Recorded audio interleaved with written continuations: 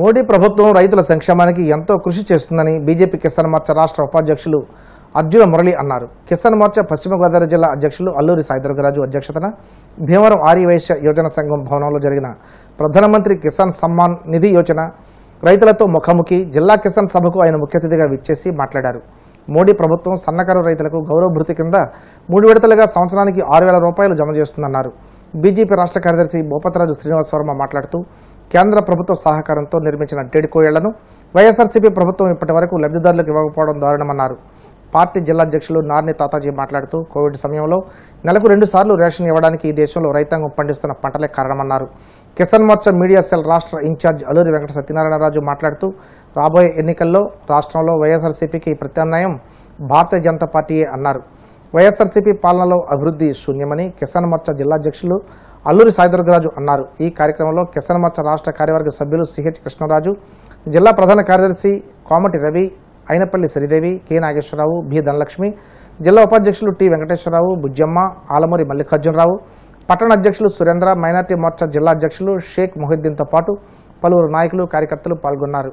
ప్రధానమంత్రి గారి యొక్క ముఖ్య ఉద్దేశం ఈ దేశంలో ఉన్నటువంటి చిన్నకారు రైతులు ఎవరైతే ఉన్నారో వాళ్ళందరినీ కూడా ఈరోజు గౌరవ భృతి రైతుకి గౌరవ భృతి ఇవ్వటం అనేది ఆ పథకం యొక్క ముఖ్య ఉద్దేశం. అది ప్రధానమంత్రి దగ్గర నుంచి వచ్చేటువంటి నిధి.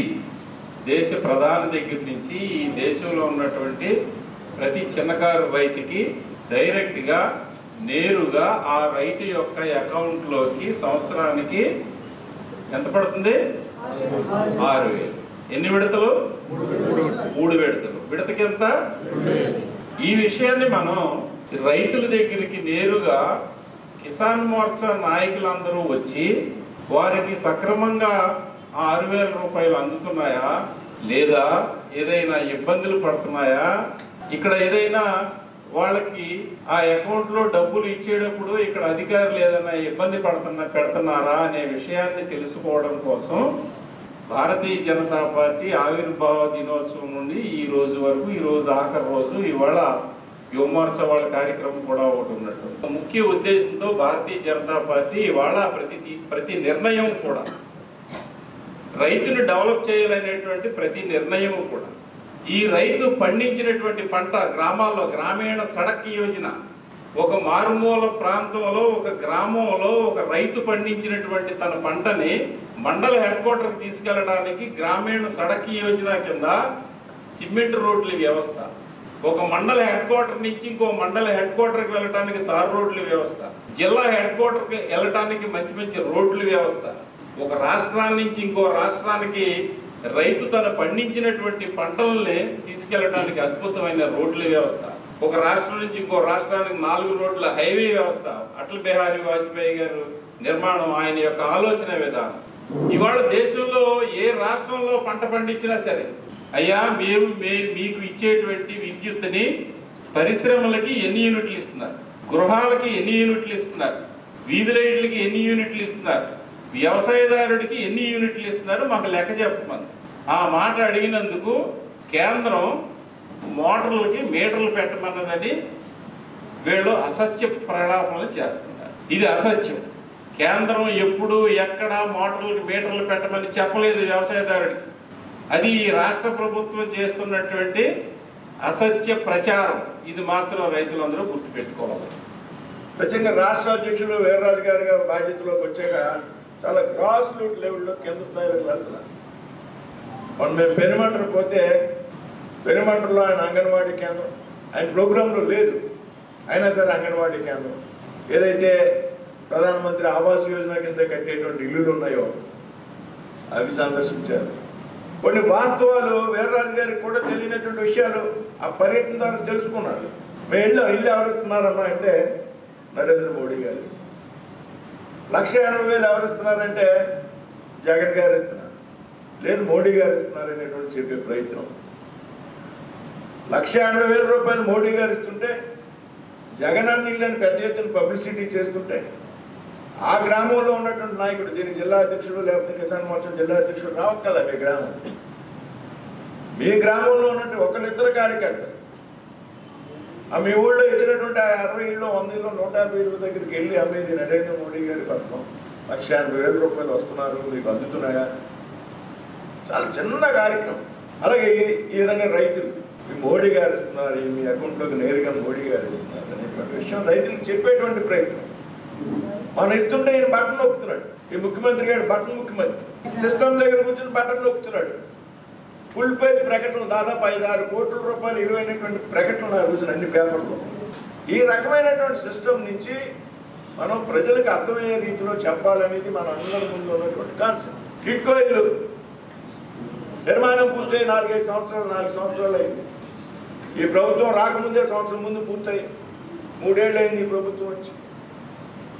ఇల్లు అలాట్మెంట్ ఇవ్వలే అన్నీ పూర్తయి ఉన్నాయి. కేవలం రాజకీయం కారణంగా అలాట్మెంట్ ఇవ్వలే ఆ లబ్ధిదారులు బ్యాంక్ లోన్ శాంక్షన్ చేయించుకుంటే బ్యాంకర్స్ వాయిదాలు కట్టమని వాళ్ళ ఇళ్ళ మీద పడే పరిస్థితి ఉన్నది రెండు సంవత్సరాల నుంచి. నూట ముప్పై ఐదు కోట్ల జనాభా ఉన్న ఈ దేశంలో రెగ్యులర్గా నెలకి ఒక రేషన్ ఇస్తే రెండు సంవత్సరాలు రెండు సంవత్సరాల కాలంగా నెలకి రెండు రేషన్లు ఇస్తున్నటువంటి దమ్మున్నటువంటి నాయకుడు నరేంద్ర మోడీ అంత దమ్ముకు కారణం ఈ దేశంలో ఉన్నటువంటి రైతాంగం.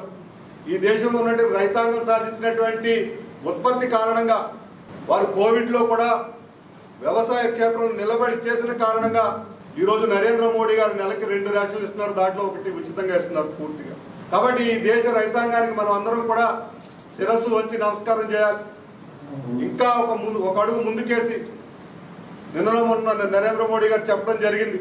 డబ్ల్యూటీఓ వరల్డ్ ట్రేడ్ ఆర్గనైజేషన్ ఏదైతే ఉందో అది అనుమతిస్తే ప్రపంచంలో ఉన్నటువంటి ఏదైతే ఆహార కొరతతో ఇబ్బంది పడుతున్న దేశాలు ఉన్నాయో ఆ దేశాలన్నిటికీ కూడా ఇక్కడి నుంచే మేము ఆహార ధాన్యాలు ఇస్తామని గమ్ముగా చెప్తామని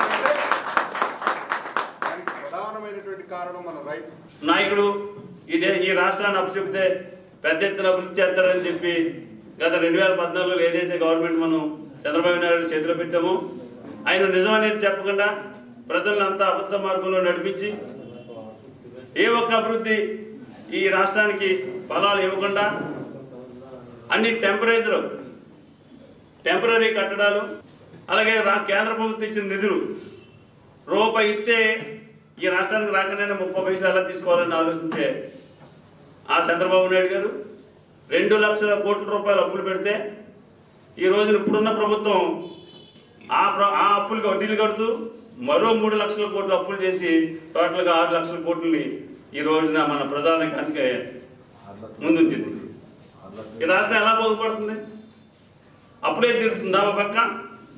అభివృద్ధి చేకూరుతుందా కొన్ని అభివృద్ధి ఏదన్నా మంచి మార్గంలో నడుతుందంటే ఒక ఆరు సంక్షేమ పథకాలు తీసుకొచ్చి ప్రజలకు ఇచ్చి ఆ సంక్షేమ పథకాలను తీసుకెళ్ళి ముందుకు తీసుకెళ్ళడానికి ప్రయత్నం తప్ప ఒక ప్రాజెక్ట్ తెచ్చుకోవడం కానీ ఒక ఇండస్ట్రీ తెచ్చుకోవడం కానీ ఒక పది మందికి ఉద్యోగాలు ఇచ్చే వెసులుబాటు కల్పించే ఏదైనా వనరులు తీసుకురావడంలో కానీ లేకపోతే ప్రజలకి పూర్తి స్థాయిలో ఒక పనిని అప్పచెప్పి ఆ పని నిమిత్తం వాళ్ళ జీవనోపాధి ఉండే రకంగా కాకుండా పూర్తిగా అందరినీ ఇంటికాడ కూర్చోబెట్టి మనం డబ్బులు ఇచ్చేస్తే రేపొద్దున్న మనకి మళ్ళీ ఓటేస్తారు. అనే తప్ప ఓటు రాజకీయాలే తప్ప ఈ రాష్ట్ర అభివృద్ధికి గత ప్రభుత్వం ఏమీ చేయలేదు. ఇప్పుడున్న ప్రభుత్వం ఏమి చేయలేదు. రైతులకి మనం సంవత్సరానికి ఆరు వేల రూపాయలు కేంద్ర ప్రభుత్వం తరఫున వేస్తున్న విషయం అది ప్రజల్లోకి వెళ్ళాలి. ప్రజల్లో మనం రైతుల దగ్గరికి వెళ్ళి మనం రైతుల దగ్గర దగ్గర మనం చేసే పనులు రైతులకి చెప్పుకోలేకపోతున్నాం. అవి చెప్పుకోవడానికి మనం ప్రయత్నం చేయాలి. చంద్రబాబు నాయుడు విషయంలో జన్మభూమి కమిటీలని ఆయన పెట్టి ఆయన పతనాన్ని ఆయనే తెచ్చుకున్నాడు. అలాగే మన జగన్మోహన్ రెడ్డి గారు గ్రామ వాలంటీర్ విషయంలో ఆయన పతనాన్ని ఆయనే తెచ్చుకుంటారు. ప్రతి కార్యకర్త సైనికుడిలా పనిచేసి మన పార్టీ అధికారంలో రావడానికి ప్రయత్నం చేయాలని అలాగే మన ఈ రాష్ట్రంలో ఒక్కసారి బీజేపీ అధికారంలోకి తీసుకొచ్చి మనకి పదవుల కోసం ఎవరో ఆశించే వ్యక్తులు లేరు ఇక్కడ. ఆంధ్రప్రదేశ్ రాష్ట్రంలో బీజేపీని ఒక్కసారి కళ్ళారా చూసుకోవాలని కోరిక ఆ కోరిక మనందరం కష్టపడి ఒక్కసారి మనం నిజం చేసుకుందాం. జై భారత్ భారత్ మాతాకి జై.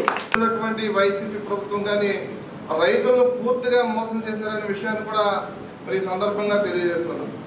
మరి జగన్మోహన్ రెడ్డి తన పాదయాత్రలో ప్రతి రైతుకి కూడా మరి పదమూడు వేల రూపాయలు ఇస్తానని చెప్పి ఆయన మరి ఆ రోజు ప్రకటన చేయడం కేంద్ర ప్రభుత్వం ఇస్తున్నటువంటి ఏ ఆరు వేలతో కలిపి మరి ఈరోజు ఆయన పదమూడు వేల చిల్లర ఇస్తున్నారు. ప్రతి రైతు కూడా మరి ఆయన సంవత్సరానికి ఆరు వేల రూపాయలు చొప్పున బాకీ ఉన్న విషయాన్ని కూడా ఉన్నటువంటి రైతులందరూ కూడా తెలుసుకోవాలి.